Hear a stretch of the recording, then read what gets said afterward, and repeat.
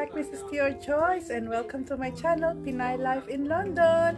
So today po nandito tayo sa kusina dahil gagawa tayo ng bread using again my Panasonic bread maker. If you have watched my previous videos, gumawa na rin po ako ng mga uh, bread using this uh, uh, bread maker. I have made uh, ensaymada, um, cheese rolls and pandesal using this one because it's it speeds up the process of um, kneading and yung rising ng bread. But you can still do uh, manual kneading or if you have uh, mixers at home you can still use it using the ingredients that I will use for this bread because I have tweaked some recipes that comes out really really nice and I want to share that with you. So yun lang po. Uh, ano pa natin? Let's get. As I've said earlier, um, mas mabilis sa kanya na umalsa. So, kung ayaw mo na rin naman mag-knead, lagay mo na lang siya dyan. Paglabas niya, luto na. So, uh, less mess din siya and you can do a lot of things while making your own bread at the comfort of your home. So, ayan. Um, itong bagong recipe ko, ko po, na isi-share sa inyo, is really, really good. So, kung wala naman kayong bread maker, you can still do the manual kneading. Pwede yan mano-mano. Or if meron ka naman na uh, mixer, you can use the dough hook or the dough hook attachment para siya na yung magmamasa nung iyong bread kasi masakit din sa kamay. Ako kasi po weak ang aking uh, wrist. So, ginagamit ko rin siya. Pero ito nga, recently, um, binili namin ito dahil uh, actually it's been a year now since we bought this. Malaking bagay para sa akin yung pagninid at yung unang alsa niya. So, this is really helpful. So, with this recipe, sana po makatulong sa inyo and I hope you try it too. Pakitag niyo po ako ha kung na-try niyo siya kasi it's really, really nice. You can also find the list of ingredients in the description below.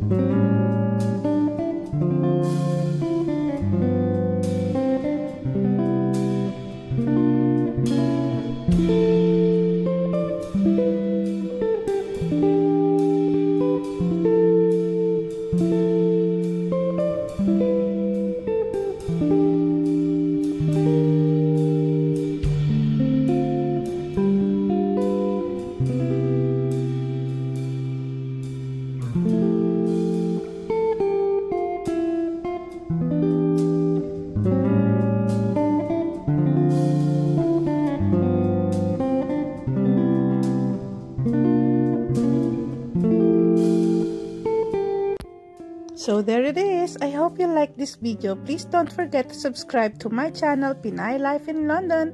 Thanks again for watching. Bye!